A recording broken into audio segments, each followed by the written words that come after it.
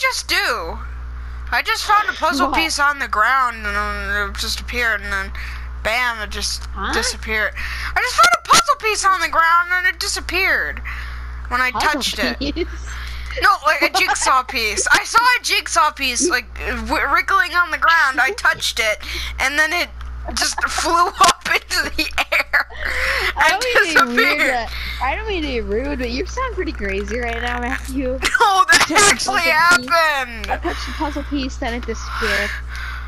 Okay, I'm gonna put it on YouTube. I'm gonna put it on the